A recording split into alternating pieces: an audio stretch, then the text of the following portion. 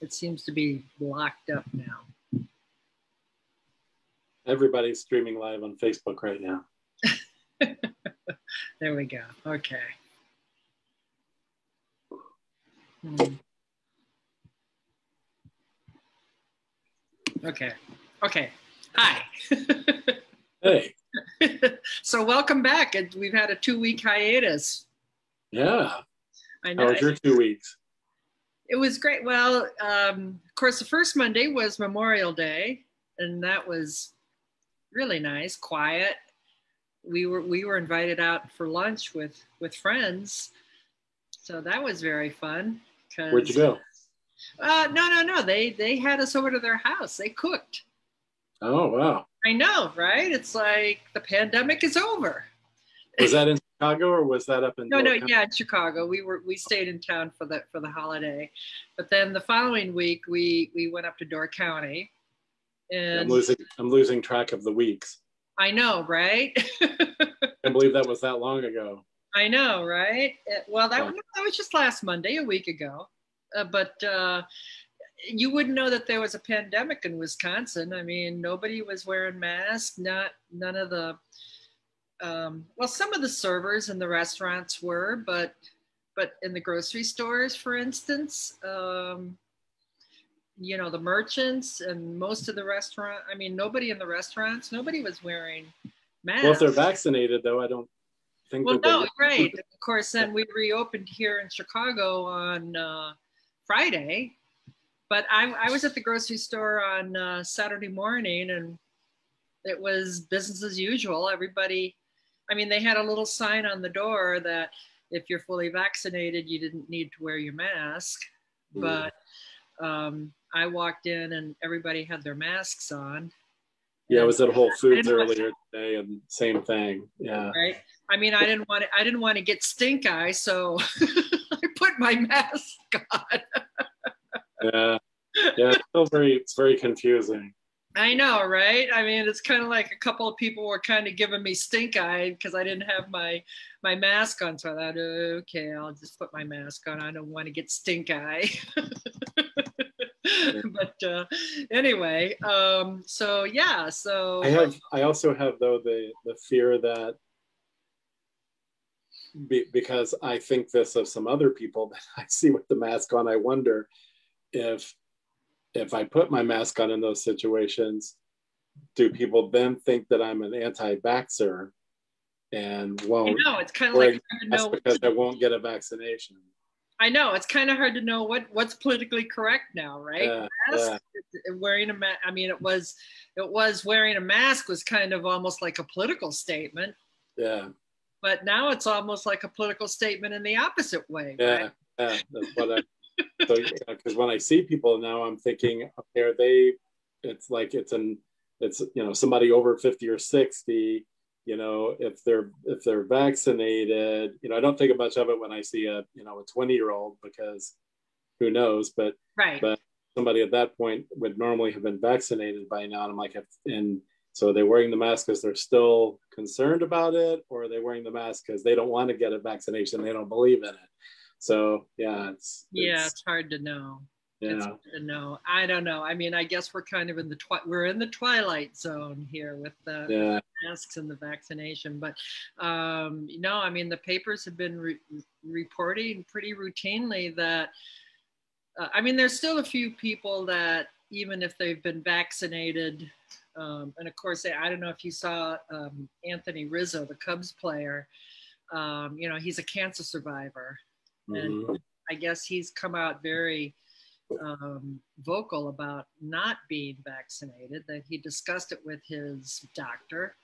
And maybe he, because he, maybe he feels because he's a, immunocompromised that it's, but I don't know. It seems, it seems like it would be. Yeah, I know of a few other people, uh, other people I know of that have uh, health issues that that they're being told that the that the risk of getting it might be you know higher than the risk of not getting it you know I mean, getting it meaning the vaccine that that they uh, they might do better you know you get it Yeah, and also, I mean, you know, what about getting? I mean, if they're immunocompromised, well, well, I don't know. It doesn't well. What do we know? We're not doctors, but it would seem that if somebody's immunocompromised, the risk of getting COVID would be really frightening. And yeah, somebody um, like Anthony Rizzo, that's you know, and, and I guess the Cubs are one of the teams where they don't have 85% vaccinations, so that means they don't have herd immunity, et cetera, mm-hmm. right? Yeah, some of the ones I've heard of, the physical issues they have, they're more likely to weather the the virus than they are to weather whatever effects they might get from the vaccine because of whatever issues. And then other like uh, my good friends, uh, like Benoit, you know, my friend Benoit, his his father in France. Well, you know, France they don't still don't have the vaccines yet.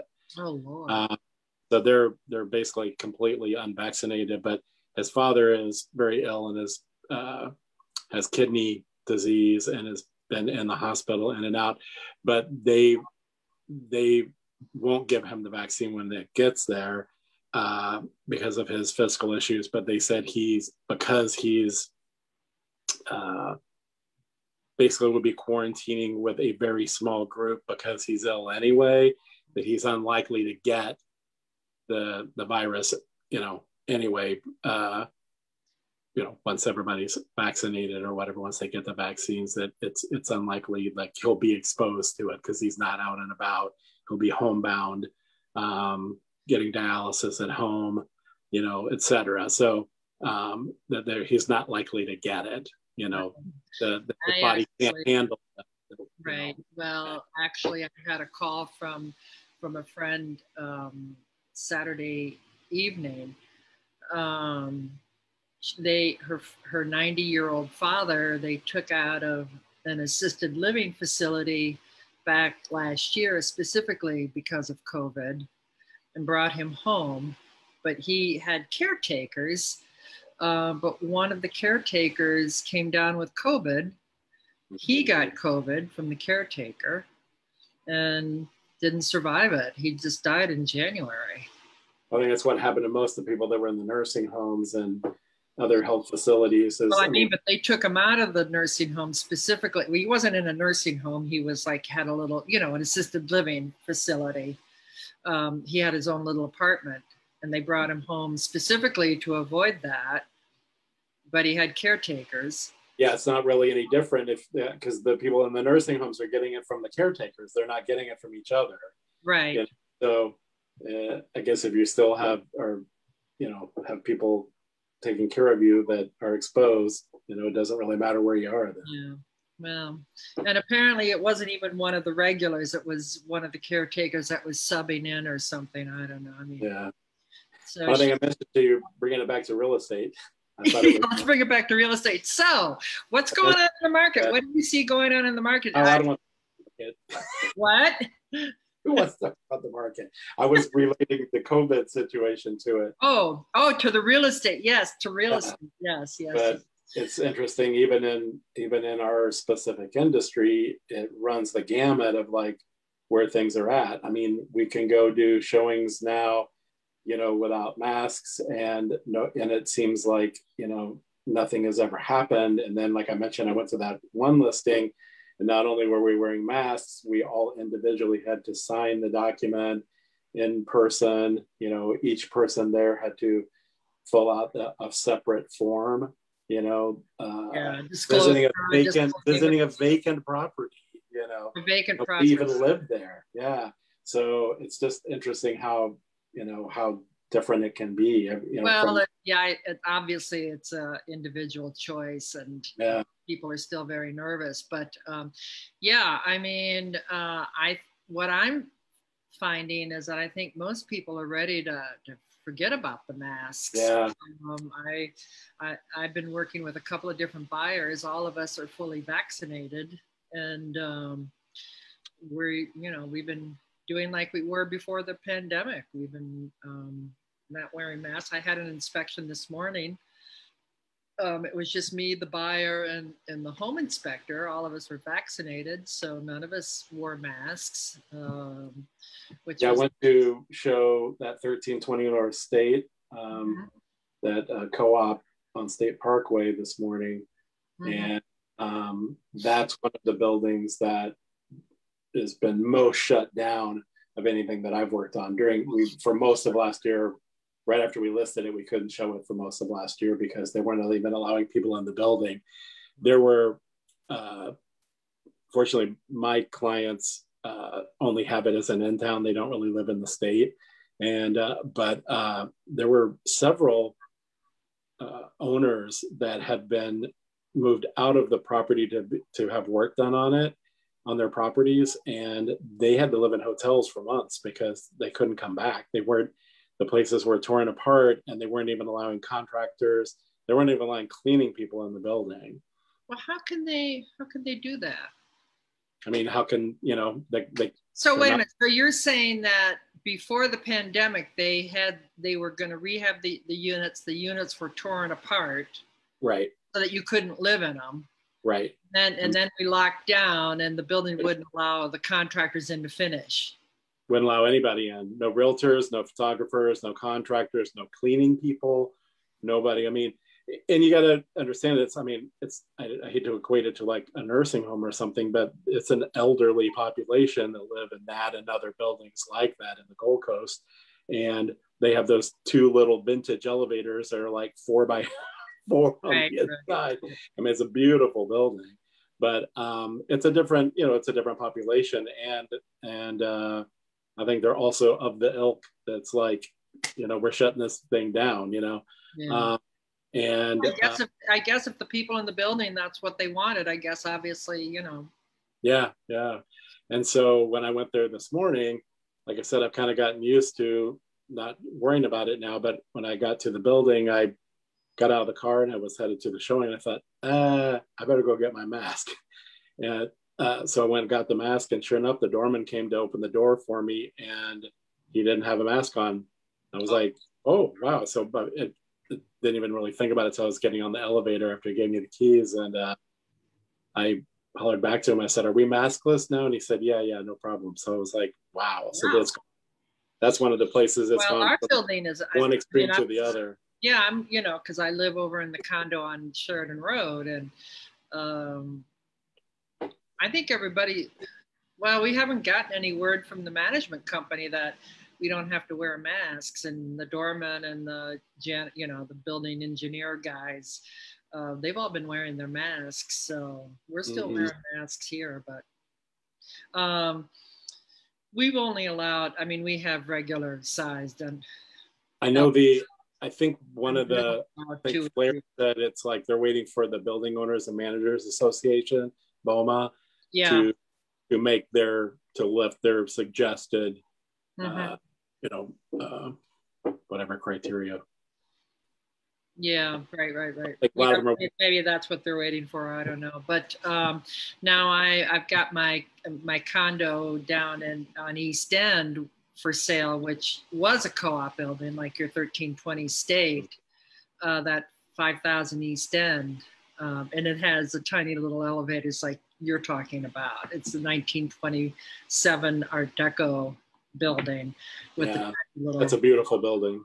Mm-hmm. Yeah, it really is, and uh, yeah, I, well, now it's been a week since I've been down there, but um, I don't think they allow more than one or two. You know, except for a family group on the elevators.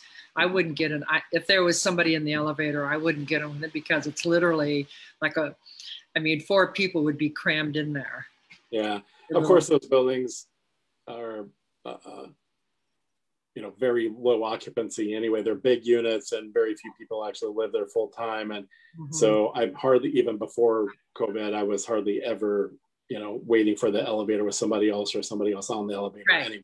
right, right, right. There's right. there's one that you know, one elevator only goes to two two units, you know, per floor. Right, that's right. Well, actually, that's the same story with East End too. It's it's yeah the, the one elevator only goes to yeah there's only two units on a floor and then the other tier is another elevator. But yeah, most of those service elevators too. If you're taking the dogs down, go out the service elevator. They don't go down the front elevator. But, yeah. yeah. yeah, most of those buildings are built that way, which is kind of nice. You know, not having the kind of dormitory style hallway. You know, right. You, I agree. Actually, the unit across the hall from ours just came on the market. I saw uh, this oh, morning. Somebody buying them. I know mine is 16D and we're priced at 235. We're two bedroom, two bath, about eight, uh, about 1600 square feet. The unit across the hall, 16C, as in Charlie, just came on at 350. So over like 100 and, you know, 15,000 more. It's two bedrooms, two and a half baths, but it's it's a bigger unit. It's 2,200 square feet, so yeah. quite a bit bigger, but doesn't yeah. have views. We have better views. I've got the same situation. I've got 7D and 7C came on the market, but we're like almost 3,000 square feet each. So it would really, it would really be. Right, wow. yeah, that'd be really combine nice. those. But you imagine 6,000 square feet on one floor, you know, with one, you know, basically a private elevator vestibule that only went to your unit. Right. So yeah, cool. I guess, but you'd have to do something with the, um, I guess you'd have to knock, would you knock out the common wall between the living rooms and have one gargantuan living room? I don't know. Probably. I mean, if you've got 6,000 square feet, you've got to have a giant living room. Yeah. I mean, they've got big living rooms anyway, but yeah, you probably want to do a really, really so my, my, listing over on uh, over on Leland, over in Lincoln Square, um, he um, he um, we had a showing there on Saturday, and the neighborhood had their neighborhood a yard sale, and and that that built that property is tenant occupied, and uh, they forgot, of course, that I was coming, and they had a big dinner party Friday night with ten people. oh, wow. Everybody was just, like, hello. I know, right? Exactly. Well, first of all, they had this huge dinner party with 10 people. And then they had the yard sale that started at 9 a.m., you know, Saturday morning. And I here I am at there at two o'clock on Saturday, and they're selling. I actually did get a little teapot from them, a very cute teapot. well, I kind of felt like, you know, I can't you need to buy something. Not buy something, right? I'm actually going to send it to my girlfriend in England because she she's a tea Nazi, and uh, she she doesn't drink tea made with tea bags. It has to be loose leaf and blah blah blah. She has a whole ritual about. Well, it's probably tea. the wrong teapot then. No, no, it, it's uh, it's like a brown. You know what a brown Betty is, right? Well, this, uh, no, instead of a brown Betty, this is a gold Betty. See, it's all wrong. anyway, it's very cute. When I looked at it, I thought it almost looked like some of that depression wear, that fiesta wear, you know, oh, that stuff. But anyway, it's not. It's just a it's just a gold teapot. Not gold, but like banana yellow, that color. So anyway, she's getting that for her birthday, but don't tell her that. it's a surprise. Anyway, hopefully she's not listening. She won't know. Anyway, um, yeah. So he a Facebook person. What? He a Facebook person. Yeah, well, she she could get on Facebook. Yeah, she if she if she actually sits and listens to this, she'll hear it. But anyway, I don't think she will. But um, who knows? Anyway, she'll find out. It's a test. Right, it's a test. Um, but anyway, so they had this dinner party, and and uh, I was waiting for the other agent to show up with their buyer, and I got to talking to him, and and uh, he's like, yeah, he said I cut off the wine about 11 o'clock or so and nobody wanted to leave. He said it was one o'clock before we got people out of here. I'm like one o'clock in the morning? I would have just shut the lights off and gone to bed and said bye.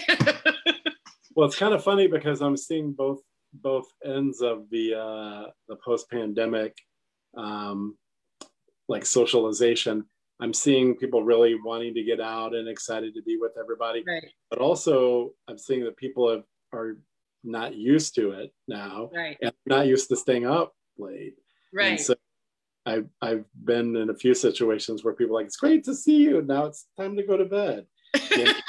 That's right. right. Well, I kind of wonder if, I mean, I kind of wonder if there's not going to be more dinner parties because we've all gotten used to cooking again. Yeah. And yeah. I mean, before the pandemic, if you got together with friends, you went out to a restaurant. Well, I, I should maybe speak for myself. I don't know, but generally speaking, we'd go out to a restaurant and you'd sit for a couple hours. But with the pandemic, it's like we're all used to cooking. So um, it's a lot more fun. And we did this during the Great Recession, actually. I, we got into the habit of doing dinner parties just because it was um, cheaper and easier, but it's also a lot more fun. Well, I don't know, easier, cheaper, definitely cheaper.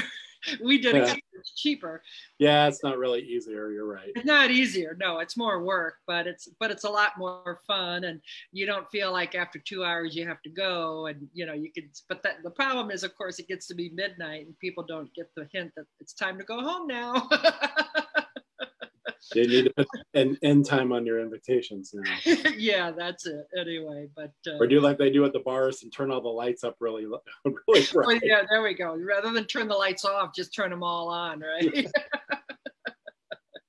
but I, I, said I said to the tenant, I said, I imagine everybody's just so excited to to be out and socializing. They're so deprived of socialization. He says, Yeah, he says exactly. That's exactly yeah. It.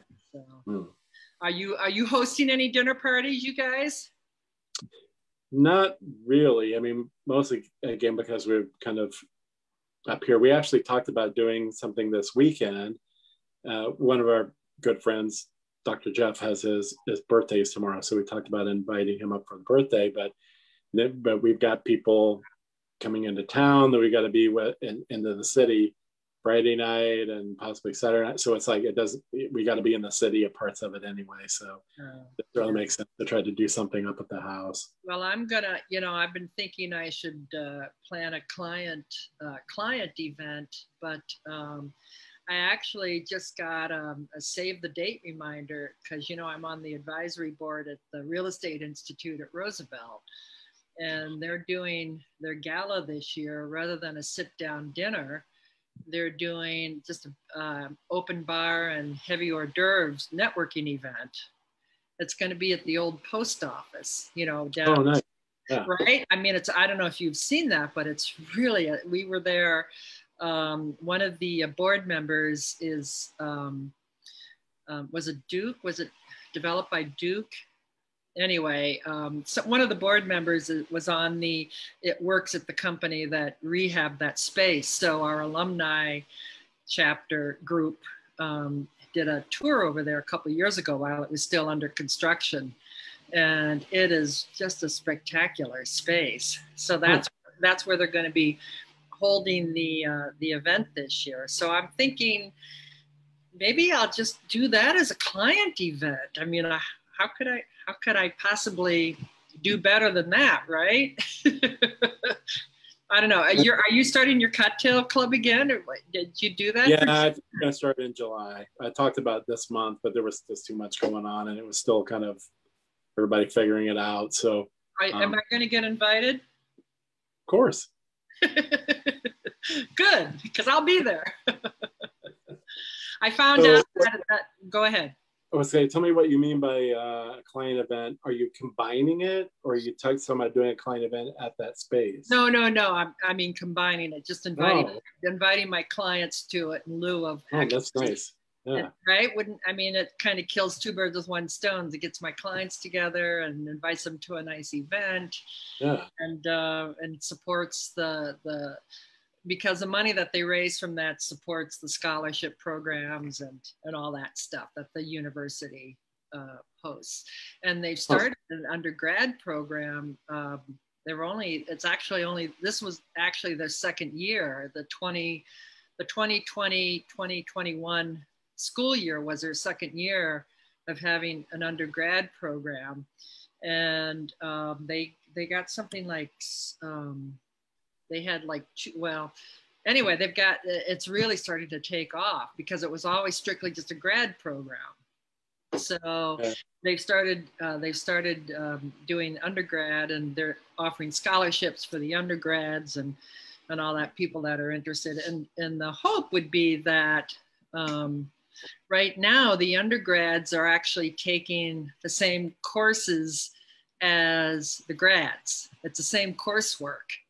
So the hope would be that once, if that as an undergrad, if you grad, if you graduate with a master's, eh, with a bachelor's in, in real estate, that you're ready to rock and roll in the real estate industry. Now, mind you, this is not brokerage. This is everything else, but like yeah. property management and development and all that stuff. So, but, big stuff. What? The big stuff. Right, the big stuff, the commercial, more commercial than than residential, but.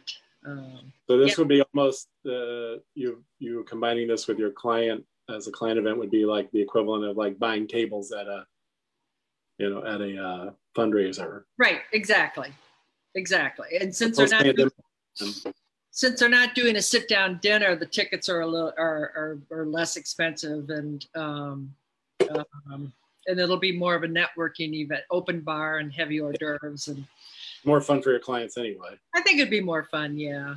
Yeah. So anyway, so I'm kind of excited about that. So uh, maybe I'll do that because then I don't have to worry about turnout and whether it's a, a successful event or not. All those things that you worry about when you. I think it's a really good idea, actually. I really do. Yeah. Yeah. And in the end, and at the end of the day, it's probably not going to be any more expensive, really, to just buy yeah. tickets, right? Yeah. yeah, and and it's the uh, and all the the planning and everything is taken care of, you know. Right. Yeah. Uh, you just show up. Yeah.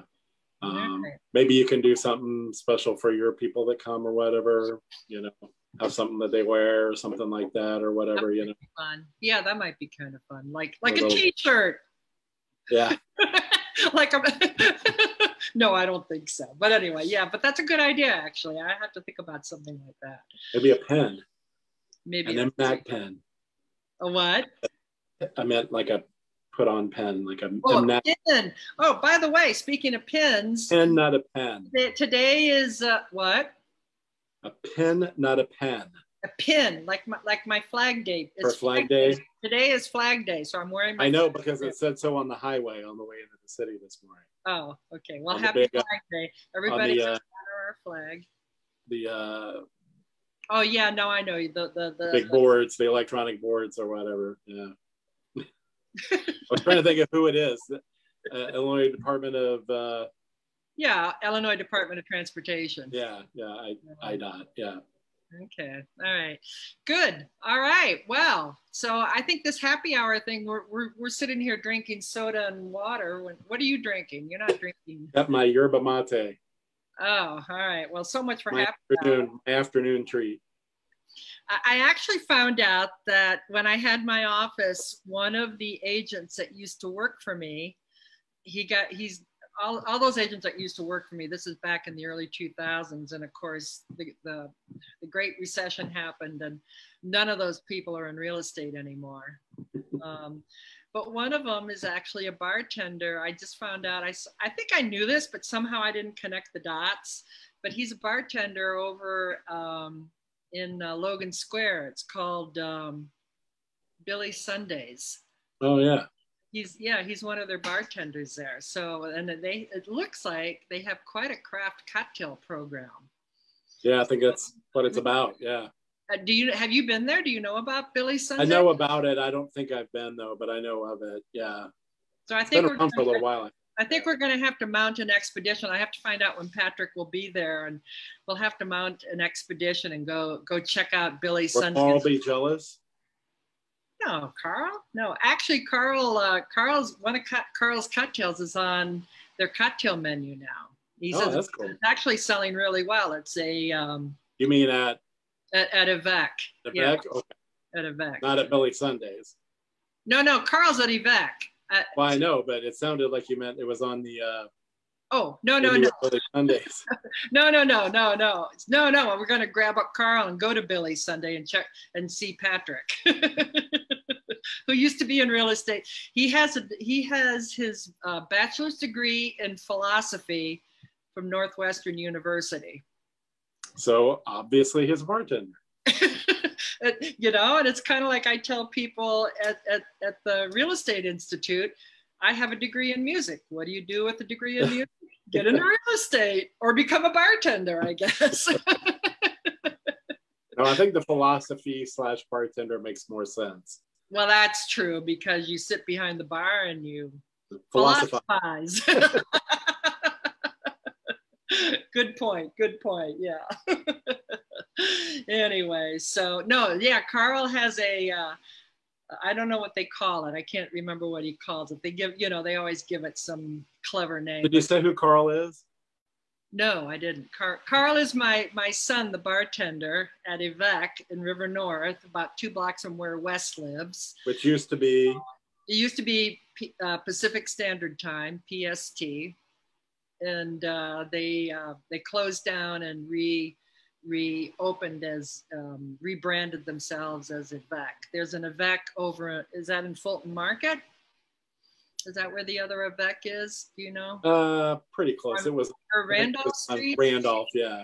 Maybe on Randolph Street. Anyway, it's it's uh, one-off hospitality. Is is a hosp- same ownership. Yeah. What? Same ownership. Same ownership, right, right, right.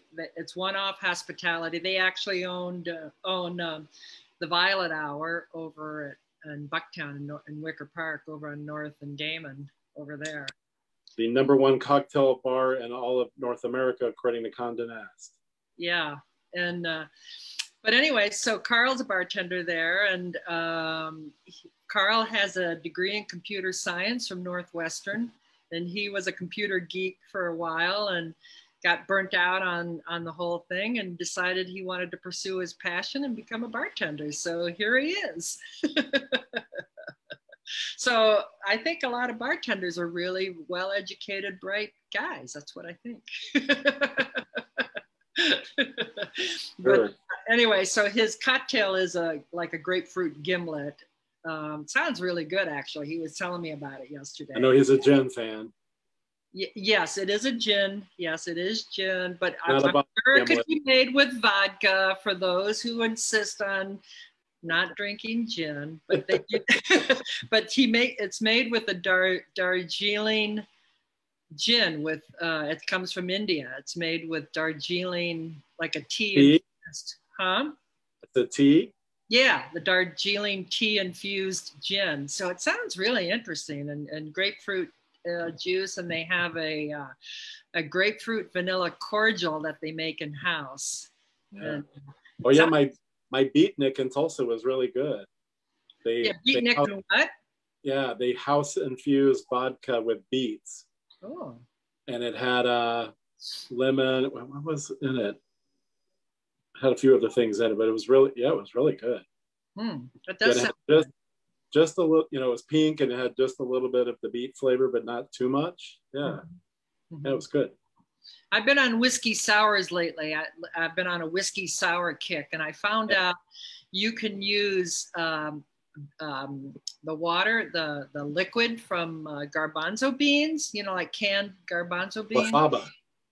Aquafaba. You use mm-hmm. that, but you have to be careful how much you use because it will impart kind of a bean flavor to the cocktail. But but were you using it instead of an egg white? Instead of an egg white, right? Aquafaba and you put like maybe a half a tablespoon in a in a um, in a um, for a drink for one drink yeah and you put it in the shaker and you shake it and it gets all nice and foamy and kind of gives you that that that um, that what am I trying to say? That fluffiness, of, the fluffiness, yeah. Well, I was going to say gooiness, actually, the kind of the sticky, oh, yeah. kind of gives it the thicker texture yeah gelatinous. that's the word i want. Gelatinous texture that that you get yeah. in, a sour yeah you know you can you can use it in place of eggs for cooking too. Right. Uh, baking right. that it works really well. I've replaced eggs and like especially at in uh, like cornbread and stuff. I found that like it actually even worked better um oh really? Hmm. yeah really it's really good yeah yeah, but don't overdo the aquafaba. Just maybe a half a tablespoon is all you need because otherwise you'll get a bean flavor to your cocktail, and you don't yeah. want that. and the and the aquafaba is very from you know bean to from like brand to brand of, of beans of chickpeas. Oh. So you can find the ones that work the best for you that way too. both both in flavor and consistency they they vary oh well that sounds that sounds like a good uh, summer uh, project to find the perfect whiskey sour garbanzo bean exactly. So well on that note we're 30 minutes into our little happy hour thing. I think maybe i will go make me a whiskey sour now that we've been talking about it. And uh, and we'll we'll hopefully i don't know maybe we ought to continue to do this at four o'clock. We kind of like happy hour don't we? Yeah. Maybe. Uh, i'd be open to discussing that. Yeah well, we'll figure it out and we'll post it on Facebook and uh, let you know. But you don't always believe everything you see or read because what happened this morning was we both got held up on appointments. So, as as anything in real estate, things tend to have to be fluid. Things have to yeah. be a little flexible, but uh, we do the best we can. Everybody always asks me like, "What's your schedule this week?" And I'm like, I don't know what it is this afternoon. I know, right? Exactly, right? Yeah, I know. And then you make plans. And so this inspection that I had this morning, I thought, oh, well, the listing agent will be there. So if I have to leave at 1130, no problema. Well, she couldn't be there. So, yeah, what am I going to oh, do? Wow. But uh, uh, the best laid plans. But um, I'm finding that that, that Calendly I have that Calendly um, uh, app that I use in my signature. Mm-hmm. And I've been able to use that pretty successfully with people. It's like, you know what, just go to my Calendly link, figure out when what your schedule looks like. You can see my schedule and let's just book something. And it, it works out really well, actually. Good. One of the benefits of the pandemic. Yeah. So, which there will be many we, we will have many, including Zoom calls, right? Yeah, including this. Including Zoom calls. So, all right, good. Well, everybody have a good night. Enjoy your happy hour, and uh, we'll see you next week sometime, either noon or maybe at four or something, but we'll let you know. Bye for now. Bye.